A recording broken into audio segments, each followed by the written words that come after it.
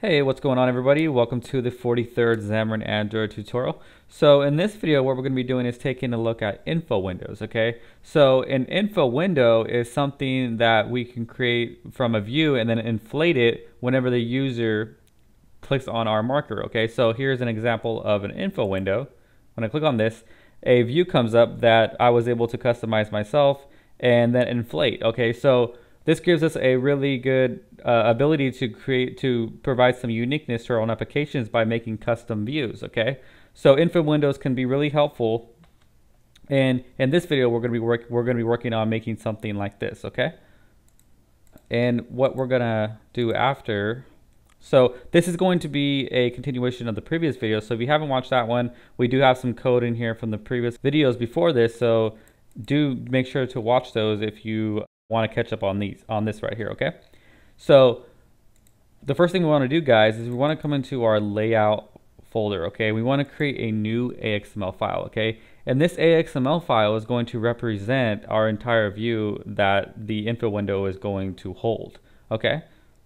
So let's come into here and let's make an Android layout. And we'll just call it info underscore window. And it's just going to be a simple view that we're going to create, but the point is to get the to get the example across of how you can create a, a view and then inflate it in the proper method and then put that inside of the info window, okay? So the first thing that we're going to want to do is we're going to want to create an image, okay? So our image view is going to go is going to rest inside of our layout, our linear layout.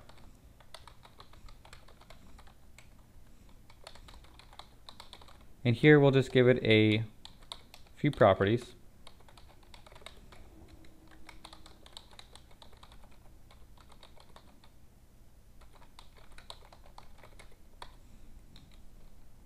Okay.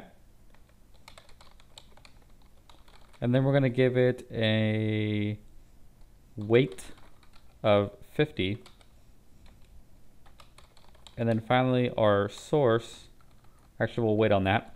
So right now it's going to have a weight of 50. So it's going to take, it's going to be inside of this linear layout.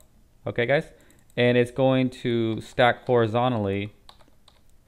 Everything's going to stack horizontally inside of this layout. Okay. So this is going to be our image view. And then alongside of it is going to be another, another linear layout that has text views inside of it. Okay. And what I'm going to do is I'm going to go ahead and copy and paste that over since we've gone over something like this many, many times already. So in an effort not to waste any of your guys' time, I'm gonna go ahead and copy and paste that over, okay? So what this is, guys, is basically just a linear layout that stacks three text views on top of each other. And then the image view, which is outside of this linear layout, is stacked side by side. So this and this are stacked left to right inside of another linear layout. Okay? And a few things that I'll need to do with the parent is first add the weight sum.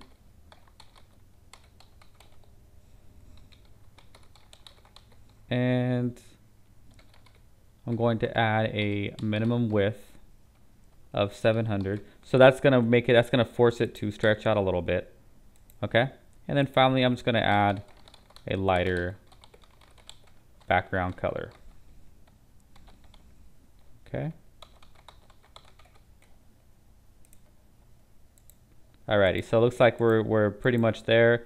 So we just need to add the source of the image now to our to our uh, actual image view, okay? So delete that one. I'm gonna come into here and add an existing file. Okay, I'll add that. So what we want to make sure, guys, is Xamarin is a little weird when we have a dash.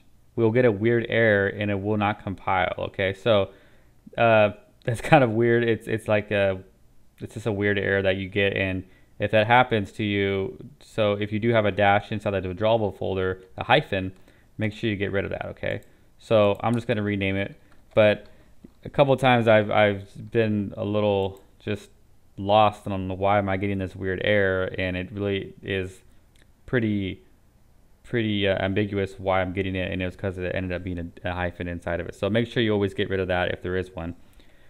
Okay, so now that being said, let's come into our image view, and we'll come down here to the properties, and we'll set the source to the image that is here. Okay, and this could be really just any any image you'd like. I'm just going to use the Xamarin uh, logo just for the heck of it. And that should do it, guys. So we should now be able to, to see something that looks similar to this, okay? And what we're to do with this now, guys, is we're going to go into our code and we're going to actually inflate this into our view, okay? But first, we need to do something else, okay? And that is first we need to set the window in window adapter, okay? So we, we'll do mmap and we'll do set info window adapter, okay? So this is going to be that it's we need to set an adapter for it, okay? Which is going to be an interface, a class that, that implements this interface, and then that's going to take a few methods, of course. So we're going to pass it this, okay, since this is going to be what's going to implement the, we'll go back for a second to show you, that's going to, it needs to take an info window adapter, okay? So we'll pass it this, and then we'll come up to our class, this, in this case, and then we will implement the i info window adapter. Okay. So now that we are implementing that, we need to right click and implement interface. Okay. And when we do that, two methods will be created for us. Okay. That we need to implement. And one of them is get info window and the other is get info contents. Okay. So get info contents is only called when get info window returns null. Okay, so we're not going to return null. We're actually going to return a view. So in this method, we can just leave blank, or we can actually we just return null in this case. And then after that, we really just don't do anything. Okay. So this is the method that we're going to concentrate on is get info window. Okay. And what it asks for in return is a view. So that's the view that we have created, and we're going to go ahead and inflate that view now. Okay. So inflating a view is something that we take an entire layout, okay? So we don't do a find view by ID because now we're taking the entire XML file and we're inflating it with a layout inflater, which is what we need. And then that returns us a view, okay? So we'll do view view equals layout inflater, okay? Which an activity has a property layout inflater, so use that. And you do dot inflate and then it asks for the layout, the resource that it, you want to inflate, okay? So then we'll just do resource, layout, info window, okay? And then we'll do null for the view groups. So there is no view group that the root, that is not gonna be attached to any of the root. And then we'll do just do false here, okay? So what that's gonna do guys is that's gonna return this entire thing right here, okay? So this entire thing, it's gonna return it and that way, when then we're once we get that, come into here, and we'll return it. That error will go away, and all is well. Okay, so let's go ahead and run this, guys, and make sure that it's working the way we expect it to. And then after that, we're going to go in and we'll actually customize it a little more and get a little deeper into changing like the the text views and stuff inside of here. Okay, so let's go ahead and run this, make sure it's working properly.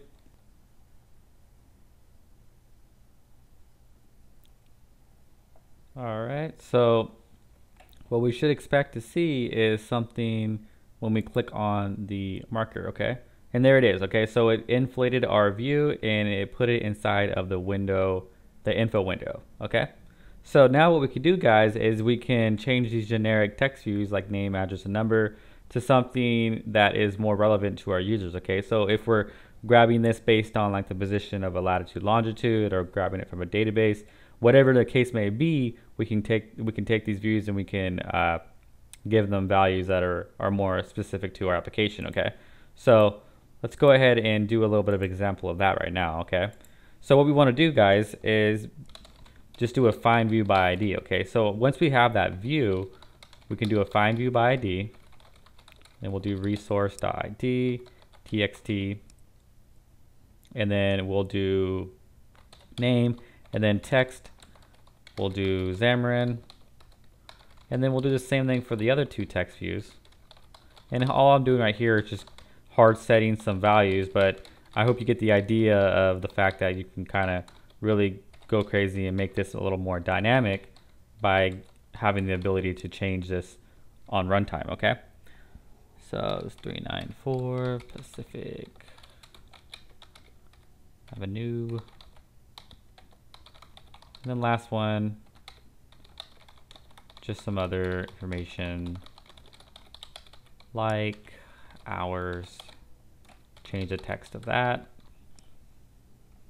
Something like 8 a.m. to 8 p.m.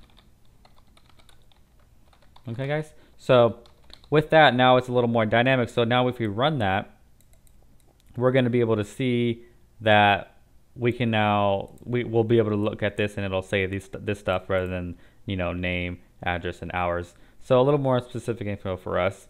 Now now that's possible. Now the only thing that you can't do and it's too bad because what what happens guys is when this is run let's kind of look a little deeper into this.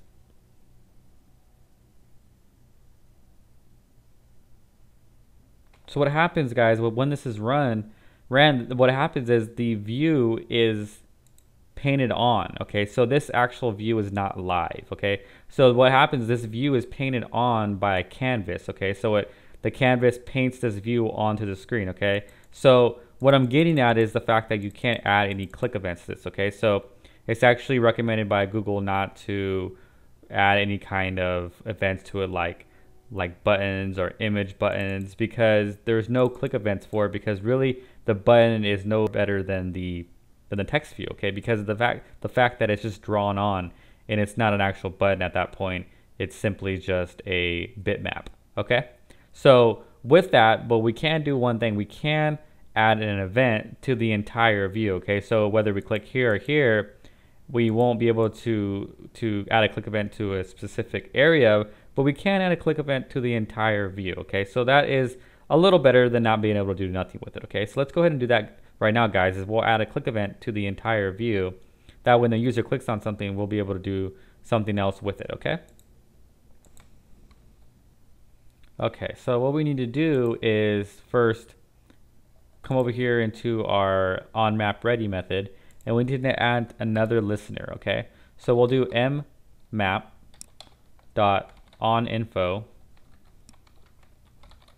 set on info window click listener, okay? And then we'll also pass it this because we'll also implement the I on info window click listener, okay? Come up to the top, on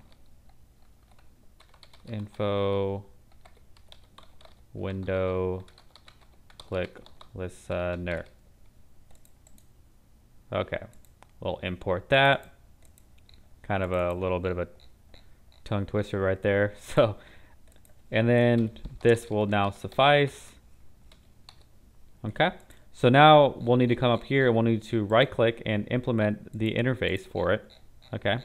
And it just adds one method to implement and that's on info window click. Okay. So this is called whenever the mark whenever the info window on the marker is clicked and it passes in the marker whose info window was clicked. Okay. So what we could do is we can do something just like a console.write line just to confirm that it is being clicked. And we can do something like info window has been clicked. Okay, so let's go ahead and run this and make sure that it's working properly.